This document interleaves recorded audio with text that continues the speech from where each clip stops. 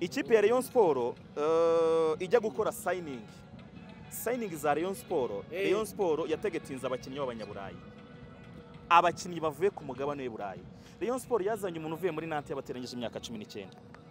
Uyu mwaka turimo Rayon Sport yasinyishije umuzamu warerewe muri Sporting Club de Portugal. Uwo nguwo ni Hadim Ndiaye. Ikipe ya Rayon Sport umwata kuyatakira yavuye muri Czech Republic. Aburayi kuko Mm. iburayi haba hari neje haba hari ubukonje budasanzwe. Kwiyakira ku kirere cy'i Kigali byabanje kuba ikibazo. Ariko aho bamaze kwiyakirira buri game aratsinda igitego buri game ari gutsinda igitego. Nta match imupfira ubusa. Eh. ntago mace y'umwataka wa Rayon Sport ubwo ni we ngezeho Fall Nganye nta match imupfira ubusa. Buri match aratsinda igitego amaze gukina match eshatu atsinze ibitego bitatu. What Mm. else? Abantu bakeneye iki kindi? Ubu tugiye gufungura ishuri class yitwa ngo how to score. Ehe. profeseri yitwa Fall Nganye ndimo ndahamagara ba rutayizamu bose bo mu Rwanda. Muze tugiye gufungura ishuri ryigisha ba rutayizamu ko batsinda ibitego. Ah nababonye Ariko bariya. eh. namubonye Victor. Afite ubusa bw'ibitego. Yaza agatangira akiga. Eh. naze yige uko ariko batsinda se ibitego. Abarusha iki Hmm? abarusha iki ubuhanga abarusha ikintu abarusha cya mbere na mbere. Si umuntu warerewe hano. Si n'umuntu warerewe gukinira ino. Mhm. si umuntu warerewe gukinira kuri ubu butaka. Icyamuzanye hari uburyo ima- imana itanga impano. Iyi ni impano yaziye u rwanda. Ahubwo ndibaza niki gituma abanyarwanda bataza kurya kuri iyi mana imana yabahaye? Uyu si umwataka uzabona igihe kinini. Uyu mwataka avuka rimwe mu myaka igihumbi. Uyu rero ni we waje i kigali. Uyu mwataka witwa Fall Nganye si ugutsinda gusa. We ni umuntu ushobora no guhagarara iminota mirongo icyenda ariko akaba yizeye ko isaha n'isaha igitego aragitsinda. Akazi gakorwa ni ukumuzanira umupira bakwinjiza muri box gusa ubu umwe waje rero. Yakojejeho ikirenge gusa yahise ajya no guserebura atarabona ko baro yaninjiye mu izamu. Ariko se duhe ku busesenguzi bw'umudefanseri witwa Yusu Diagne nawe baziye rimwe.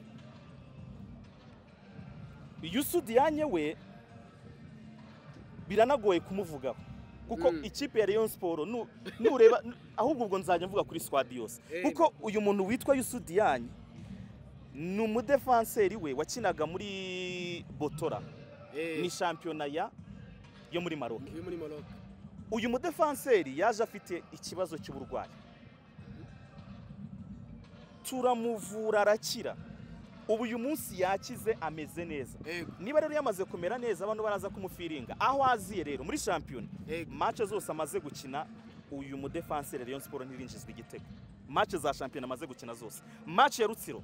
Nta gitego twigeze twinjizwa. Amaze kwinjira mu, kibuga Mm. iyi mace ya Bugesera dufite clean sheet. Clean sheet ebyiri kuri mace ziwe ebyiri. Birumvikana ko ni ibintu bidasanzwe cyane. Mm. Yego. Mm. hanyuma urebye hano naho shampiyona igeze umukino w'umunsi wa gatandatu ekipe ya irimo iraposa na yo yamaze kuba yigira imbere.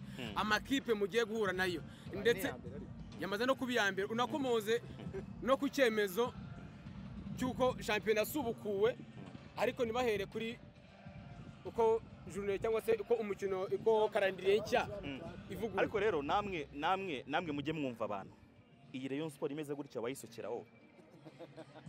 Yatwaye igikombe umwaka ushize. Reka nongere mbikubaze.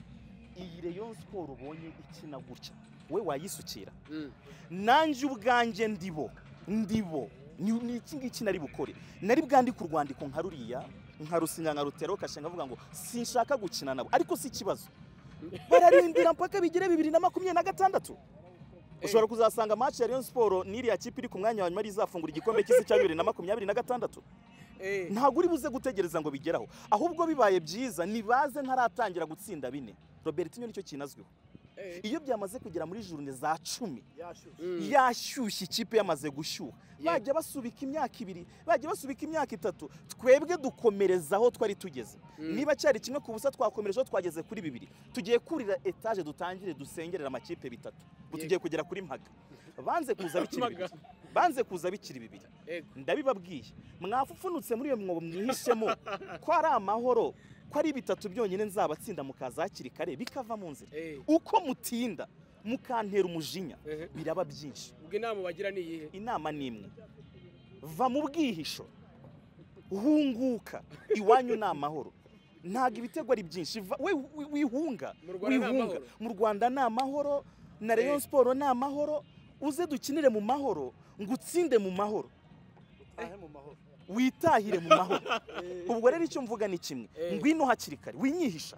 Winyihisha. Kuko ninza kukwifatira. Nkaza kukwirebera Mm. nibatuma nza kubirebera nta nubwo nzabatsinda nzabanyagira aho twakinira aho ariho hose. Batujyane no kuri malariya aho wahoze ukinira kera? Nibashake bayijyane kuri malariya Eh, nibashake bayijyane ihuye i Huye cyangwa i Huye ho ntabwo bajyayo. Nibashake batujyane mu bworoherane nibashake batujyane ahantu aho ariho hose aho ariho hose. Ariko ngo bajya gutanga isomo rya rwaruhere kuri gasogi Eh, ni ho ngiye kurebera inshuti yanjye kenisi umuvandimwe wanjye twarakuranye eh, twariganye eh, twaherewe uburere ahantu hamwe. Mm. twatojwe ko eh, tuda- tudatanga iby'ubuntu. Buriya kenisi aguha ibyo wakoreye. Rero ngiye kureba ko izo ndangagaciro badutoje akizifite. Niyo mpamvu mpamagaye abantu mwese ngo muze. Naza nka kenisi twatorejwe hamwe. Nka kenisi w'umugabo nsanzwe nzi. Mhm. ikipe nabonye mu karere ka rubavu nta kipe n'imwe ifite ubushobozi bwo gutsinda kuri ubutaka bw'u rwanda. Ikipe nabonesheje amaso yanjye ikina na etenseri nta kipe n'imwe ifite ubushobozi bwo gutsinda muri uru rwanda. Nabonye bagiye kuruhukira mu nka nabonye inka zasuye izindi inka nazibonye mu zindi. Iki kinyarwanda ko gikomeye wasiri Eh, ubwo bagiye gufata amata n'ibindi ariko ubwo icyo mvuga ni kimwe nibaze. Niba- eh, ni- ni- nibaze nibaze nta kibazo.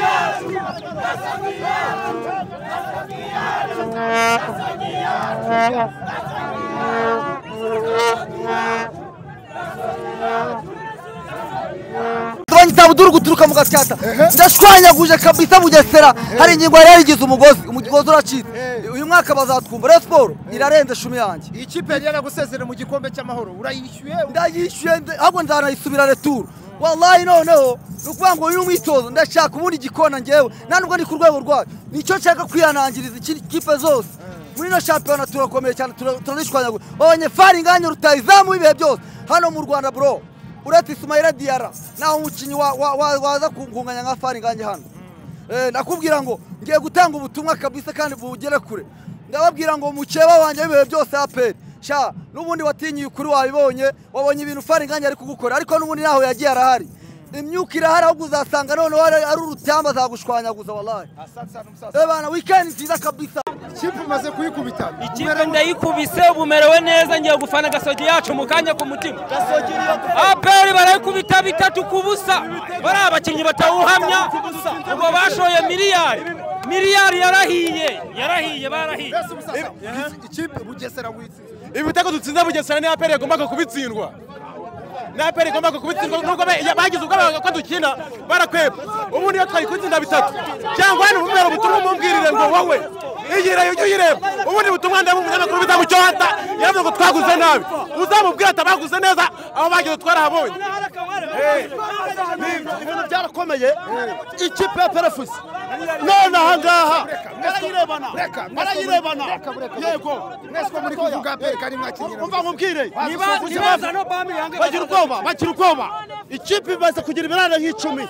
Federasiyo kuki itabashora mu kibuga ngo bakine. Ba- bafite abakinnyi bategereje uretse uretse urebe reba n'abariye mwinshi ukuntu twanganaga abacyane nk'ijana ni mutateri ntago yatsinda rayo siporo nta mutoza bafite nobodo empty nazira nibatsinda rayo siporo nabigura barayitiye baraninye